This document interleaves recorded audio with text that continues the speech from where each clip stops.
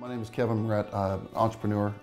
I run all my companies out of what I call shed quarters. It's a small, revamped chicken coop on our farm property.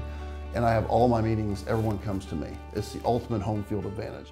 They made me do some research on my business that I hadn't done yet on the cost per new client. What's the lifetime value of that client? And then they were reporting their accountability of how they would help hit those lead numbers every month. That to me made a lot of sense. You've got partners that are working for you in your business.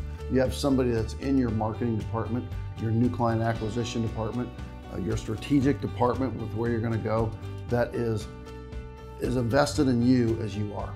And that is an incredible thing to have at the table when you're trying to grow your business to know that where you're going to get new clients, how you're going to find them, and how strategically you can do that. If that seat is filled with people that are competent, it gives you tremendous confidence going forward.